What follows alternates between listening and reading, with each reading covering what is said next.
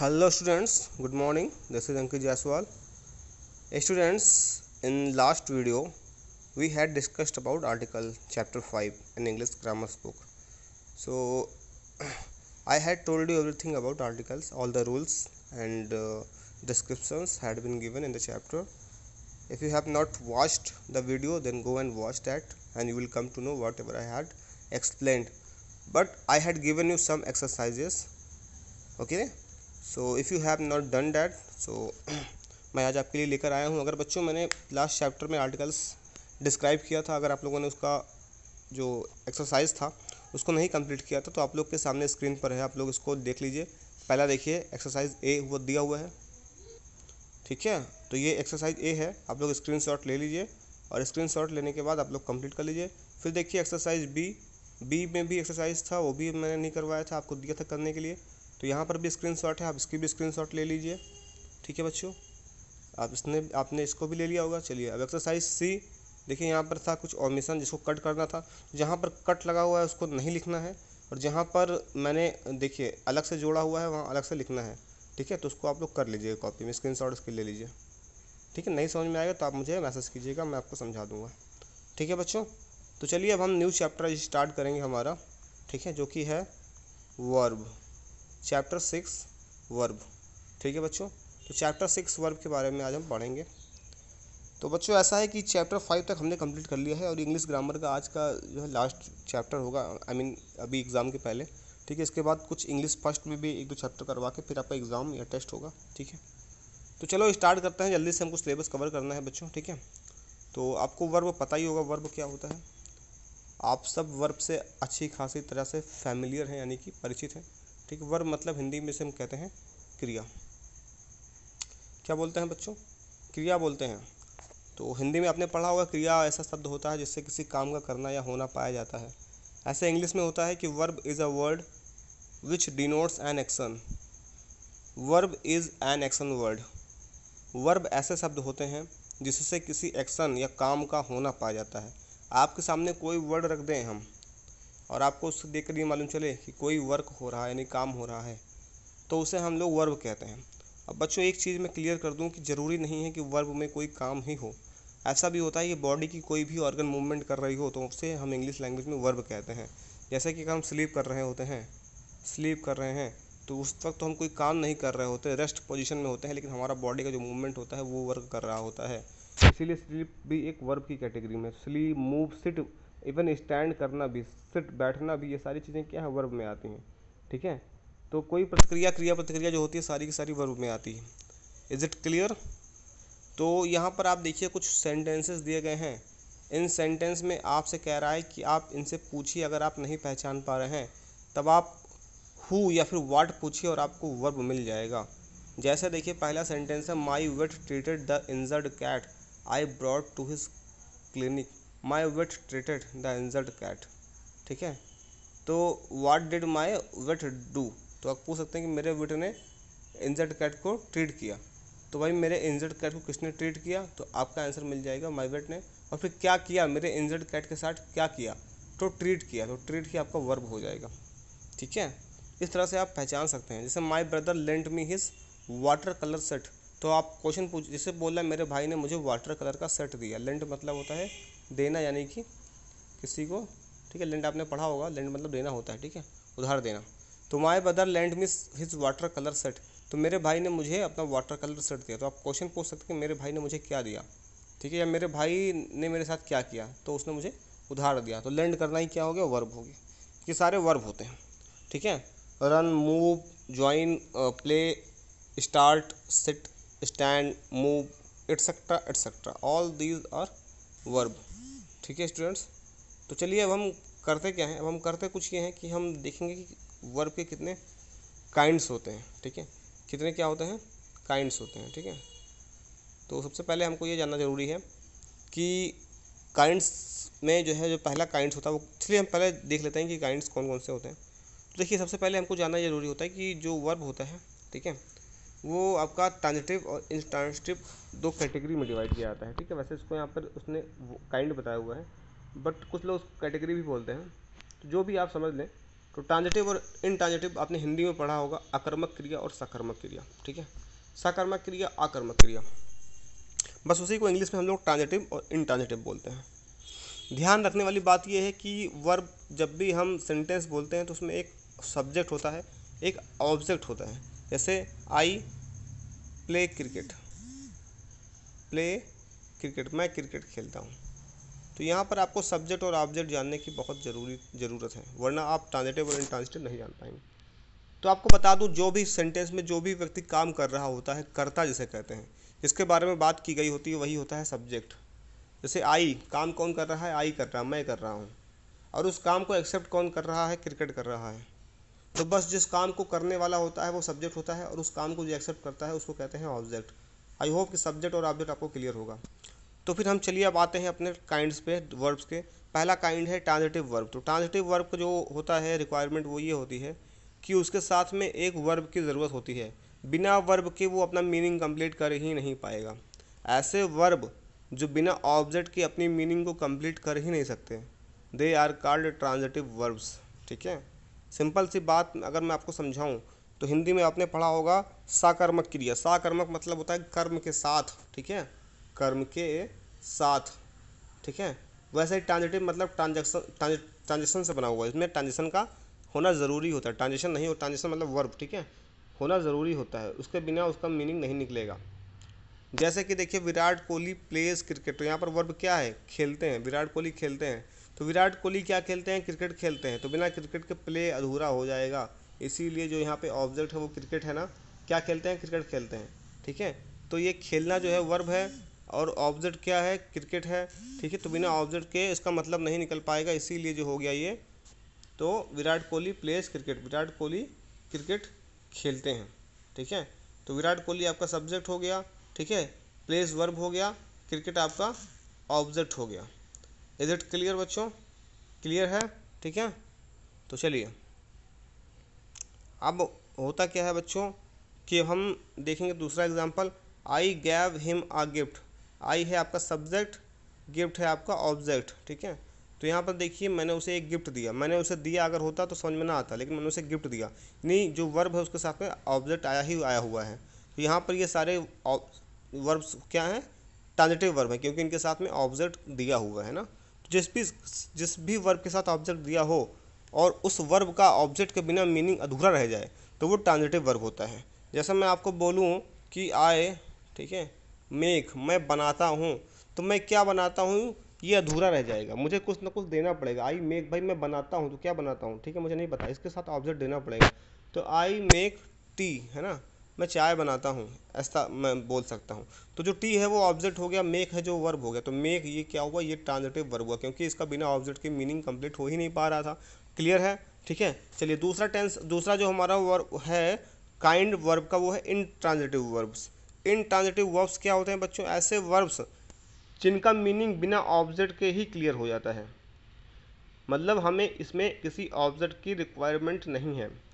ठीक है? जैसे कि हम मैं बोलूँ आपसे कि he runs he runs well ठीक है? ही रंस वेल वह अच्छी तरह से दौड़ता है। तो यहाँ पर दौड़ने के बारे में बताया गया है। किसी ऑब्जेक्ट की ज़रूरत नहीं पड़ी है यहाँ पर। आप कंफ्यूज मत होइए वेल जो है वो ऑब्जेक्ट नहीं है। वेल एडवर्ब है, जो कि बता रहा है दौड़ने के बारे में कि वह अच्छी तरह से दौड़ता है। ऑब्जेक्ट वो होता है जो नाउन या प्रोनाउन होता है अक्सर, ठीक है? और काम को एक्सेप्ट करता है। क्लियर है बच्चों? तो यहाँ पे नाउन प्रोनाउन नहीं है वेल वेल एडवर्ब है। ठीक है? तो ऑब्जेक्ट जो है वो मोस्ट ऑफ़ द केसेस में नाउन या प्रोनाउन होता है। क्लियर चलिए। अब फिर देखते हैं बच्चों, हमने दो चीज़ों के बारे में जाना, कि हमने ट्रांजिटिव वर्ब जाना और इंट्रांजिटिव वर्ब जाना ओके अब आता है हमारा ऑब्जेक्ट ऑफ़ द वर्ब तो मैंने ऑब्जेक्ट आपको बता दिया, ठीक है? जैसे कि ऑब्जेक्ट के बारे में आप यहाँ पर डिफिनेशन देख सकते हैं कि the object of the verb is the person or thing to or for whom something is done कह रहा है ऑब्जेक्ट सेंटेंस का वो पार्ट होता है, ठीक है, या जो है वर्ब का ऑब्जेक्ट वो होता है, वो व्यक्ति होता है, वो जगह या वो चीज़ होती है जिसके बारे में कोई काम किया जाता है, ठीक है। तो जैसे कि मान लीजिए आई हग्ड माई सिस्टर मैंने अपनी बहन को गले लगाया क्लियर तो मैंने गले लगाया किसको? मेरी सिस्टर को। तो मैंने काम किसके लिए किया? मेरी सिस्टर के लिए किया। तो जिस किसी भी, जिस किसी भी चीज़ के लिए, जिस किसी के भी लिए, जिस व्यक्ति के लिए, जिस चीज़ के लिए कोई काम किया जाता है, वो ऑब्जेक्ट होता है। और जो काम करता है, वो सब्जेक्ट होता है। और जिस चीज़ के लिए करता है, जिसको, और जो उस काम को एक्सेप्ट करता है, वो होता है ऑब्जेक्ट और आपने पढ़ा कि जिस भी वर्ब का मीनिंग बिना ऑब्जेक्ट के निकल आए, वो इंट्रांजिटिव होता है। और जिस भी किसी वर्ब का मीनिंग ऑब्जेक्ट के बिना इनकम्प्लीट रहे, यानी अधूरा रहे, उसको कहते हैं हम लोग ट्रांजिटिव वर्ब है ना? तो टू टाइप्स के आप लोगों ने आज पढ़ लिए ओके चलिए, अब आगे हम लोग देखते हैं कि हमारा जो है, अब देखिए ट्रांजिटिव वर्ब के भी टू टाइप बताए गए हैं। टू टाइप बताए गए हैं बच्चों, ठीक है? कि जो है ट्रांजिटिव जो होता है वो डायरेक्ट ऑब्जेक्ट्स में भी होता है और इनडायरेक्ट ऑब्जेक्ट से बनता है। कैसे? जैसे देखिए, अगर आपका इन आपने पढ़ा है कि जो ट्रांजिटिव ऑब्जेक्ट होता है ट्रांजिटिव वर्ब होता है, वो बिना किसी ऑब्जेक्ट के कंप्लीट नहीं कर सकता अपनी मीनिंग जैसे मैंने बोला आई मेक टी मैं चाय बनाता हूँ तो ऑब्जेक्ट ज़रूरी है. अब ये ट्रांजिटिव वर्ब है. अच्छा मैं ऐसे बोल दूँ I make tea for you मैं आपके लिए चाय बनाता हूँ. तो बच्चों, आप देखेंगे, यहाँ पर दो दो ऑब्जेक्ट आ गए हैं. टी भी आ गया यू भी आ गया. भाई, मैं काम किसके लिए कर रहा हूँ? तुम्हारे लिए कर रहा हूँ. ठीक है? और साथ में टी भी ऑब्जेक्ट है। अब आप सोचेंगे, सर दो दो ऑब्जेक्ट आ गया। तो बच्चों, यहाँ पर यही चीज़ है कि ये जो ट्रांजिटिव वर्ब है, ये दो दो ऑब्जेक्ट के साथ काम कर रहा है। तो ऐसे में यहाँ पर एक डायरेक्ट ऑब्जेक्ट होगा, एक इनडायरेक्ट ऑब्जेक्ट होगा। ठीक है? तो जो लास्ट में आता है, वो हमेशा डायरेक्ट ऑब्जेक्ट होता है। क्लियर है ना? मतलब आप क्वेश्चन करिए कि जिसके लिए जिसके लिए भी काम, सॉरी, ये जो लास्ट में ऐसा नहीं सोचिए आप, जिसके लिए भी काम किया जा रहा है ठीक है? वो हो जाता है हमेशा आपका जो है वो हमेशा डायरेक्ट ऑब्जेक्ट हो जाएगा। ठीक है? वो आपका इनडायरेक्ट ऑब्जेक्ट हो जाएगा। जैसे काम किसके लिए किया गया है? यू के लिए किया गया मैंने चाय किसके लिए बनाई? तुम्हारे लिए बनाई। तो तुम्हारे लिए बनाई तो जिस जिस किसी के लिए भी कोई काम किया जाएगा, वो इनडायरेक्ट हो जाएगा। ठीक है? और जो भी काम किया जाएगा, ठीक है, वो हो जाएगा आपका डायरेक्ट ऑब्जेक्ट ठीक है? ये समझ के रखिएगा आपने। तो मैंने क्या किया? मैंने चाय बनाई। किसके लिए बनाई? यू तुम्हारे लिए बनाई। तो ये इनडायरेक्ट ऑब्जेक्ट तो इस तरह से ट्रांजिटिव वर्ब दो तरह, अगर दो दो ऑब्जेक्ट सेंटेंस में दिया है तो उसको हम लोग बोलेंगे डायरेक्ट ट्रांजिटिव वर्ब ठीक है? और इनडायरेक्ट ट्रांजिटिव वर्ब जिसमें जो है आपका एक ही ऑब्जेक्ट दिया हो, ठीक है? तो चलिए देखिए आप इसमें आपको करना क्या है? अब आपको एक्सरसाइज ए दी गई है। तो एक्सरसाइज ए आपको सॉल्व करना है बच्चों। कैसे सॉल्व करेंगे? देखिए underline the verbs and identify whether they are transitive or in intransitive identify the objects of the transitive verb and write if they are direct or indirect सबसे पहले आपको पता लगाना है कि ट्रांजिटिव है या इनट्रांजिटिव है। साथ में आपको उसके ऑब्जेक्ट का भी पता लगाना है कि वो ऑब्जेक्ट जो है वो डायरेक्ट है या इनडायरेक्ट है। तो चलो मैं एक दो एग्ज़ाम्पल आपको समझाता हूँ, बाकी आपके ऊपर छोड़ूँगा, आप लोग करिएगा और नेक्स्ट वीडियो में आपको सोल्यूशन मिलेगा। पहला है the hungry baby has been crying since morning कह रहा है, जो भूखा बच्चा है, वह सुबह से रो रहा है। अब बच्चों, यहाँ पे जो बच्चा है, वो रो रहा है। ठीक है? अब साथ में ऐसा कुछ नहीं दिया किसके लिए रो रहा है? है ना? कोई ऑब्जेक्ट तो आया नहीं है। सिंस मॉर्निंग समय दिया हुआ है कोई ऑब्जेक्ट नहीं है ये। मैं बार बार बता दे रहा हूँ कि ऑब्जेक्ट होगा वो कोई पर्सन या फिर थिंग हो या प्लेस होगा। यहाँ पर कोई भी ऐसा कुछ नहीं है टाइम दिया हुआ है। तो यहाँ पे ऑब्जेक्ट के बिना वर्ब आया हुआ है। क्राइंग जो है वर्ब है ना? तो वो बिना ऑब्जेक्ट के आया हुआ तो ये कैसा वर्ब हो, हो गया? ये इनट्रांजिटिव वर्ब हो गया। Is it clear second the tailor embroidered the dress कह रहा है जो टेलर था ठीक है? उसने ड्रेस को सजा दिया। किससे सजाया? ऑर्नामेंटल डिज़ाइन से सजाया। ठीक है? तो देखिए सेकंड वाले में देखिए ऑब्जेक्ट आया हुआ है। टेलर ने क्या किया? टेलर वर्ब क्या है? उस सजाया। किसको सजाया? ड्रेस को सजाया। तो ड्रेस क्या हो गया? ऑब्जेक्ट फिर कह रहा है ऑर्नामेंटल डिज़ाइन से सजाया। दो दो ऑब्जेक्ट आए हुए हैं। एक ड्रेस ऑब्जेक्ट है, दूसरा ऑर्नामेंटल डिज़ाइन ऑब्जेक्ट है। तो आप क्या करोगे? तो आपसे बोला था, किसके लिए किया है? ठीक है? जो टेलर है, उसने ड्रेस को सजाया है। ऑर्नामेंटल डिज़ाइन से सजाया है ना? तो क्या किया है? उसने सजाया है। ठीक है? किसके लिए? ड्रेस के लिए। ड्रेस इनडायरेक्ट ऑब्जेक्ट हो गया और जो ऑर्नामेंटल है वो आपका डायरेक्ट ऑब्जेक्ट हो गया। ठीक है? तो इस तरह से बच्चों, आपके सामने यहाँ पे थ्री फोर फाइव से लेकर टेन तक दिए गए हैं। टेन तक आपको सोल्यूशन करना है खुद से। I am not going to explain it right now मैं अभी इसको एक्सप्लेन नहीं करने जा रहा हूँ। ये आप लोग के ऊपर छोड़ रहा हूँ कि आप लोग इसको करेंगे। चलिए अब हम लोग वर्ब वर्ब पैटर्न्स पे बात कर लेते हैं। ये आपका होमवर्क है आज का। All right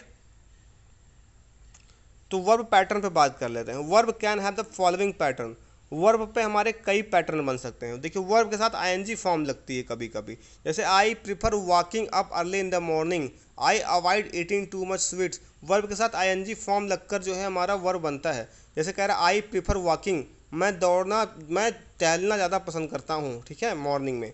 I avoid eating too much sweets मैं बहुत ज़्यादा मिठाई खाना जो है अवॉइड करता हूँ।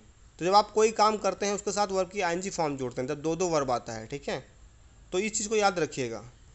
तो जैसे देखिए, दूसरा होता है इन्फिनेटिव जो बिना टू के जोड़ा जाता है, या कभी कभी टू लगा देते हैं। जैसे आई प्रिफर टू एक्सरसाइज जब दो दो वर्ब हो, कि मैं एक्सरसाइज करना पसंद करता हूँ तो टू लगा के ऐड करते हैं। आपको पता हो, जैसे मैं क्रिकेट खेलना पसंद करता हूँ तो मैं क्रिकेट खेलना पसंद करता हूँ। पसंद करना और खेलना, दो दो वर्ब आया हुआ है ना? तो अब क्या करेंगे? I like to play cricket दो दो वर्ब को टू लगा के जोड़ेंगे। लाइक टू प्ले है ना?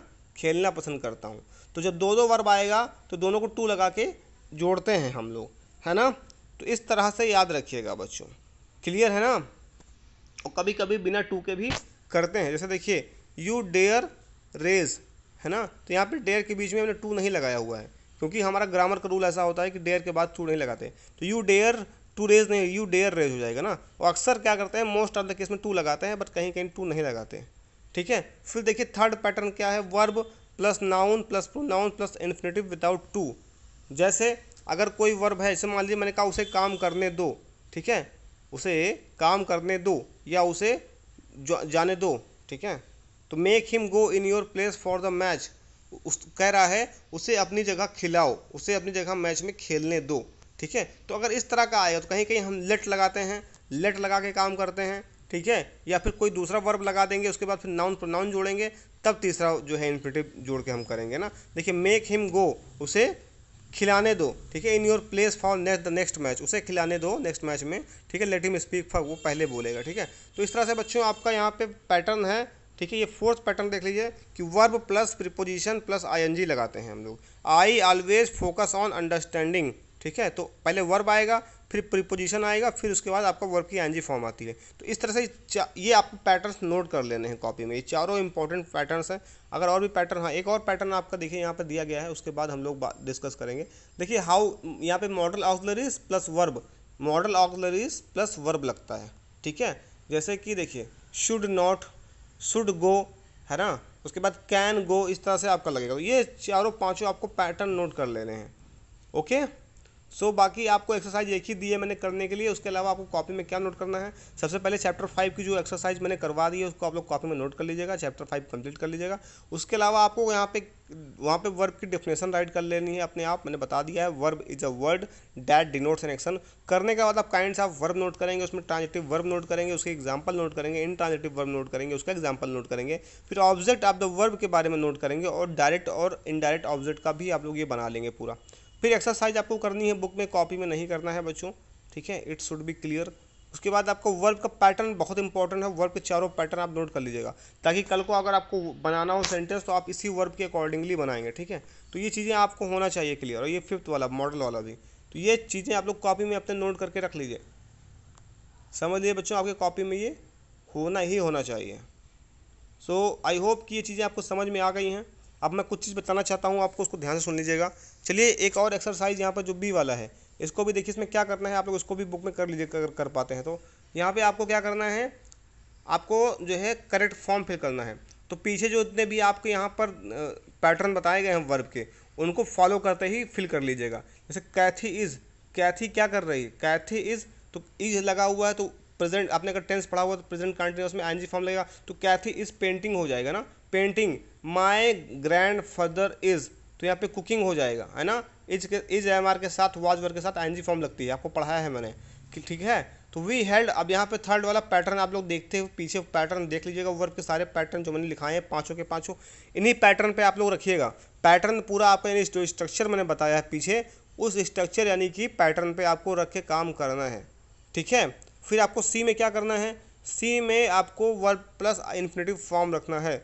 You can not afford wasting time not ठीक है? तो यहाँ पे क्या किया? जहाँ पे आईएनजी फॉर्म लगा है, यहाँ पे टू लगा के वर्ब की फ़र्स्ट फॉर्म रखनी है। जैसे मैं समझा देता हूँ, देखिए, पहले में क्या किया गया है? लिखा you can not afford wasting time not तो यहाँ पे वेस्टिंग आईएनजी लगा हुआ है ना तो यहाँ पे वेस्टिंग को टू वेस्ट कर देंगे टू वेस्ट है ना? तो आईएनजी फॉर्म हटा के टू लगा देंगे और वर्ब की फ़र्स्ट फॉर्म जोड़ देंगे। जैसे देखो he agreed going in my place तो ही एग्रीड गोइंग की जगह पे टू गो हो जाएगा टू गो तो इस तरह से आप लोग ट्वेल्व दिया गया ट्वेल्व पे ट्वेल्व को आप लोग चेंज करेंगे। तो ये आज आपका एक्सरसाइज है। आपको मैंने आज एक्सरसाइज ए बी और सी डी है।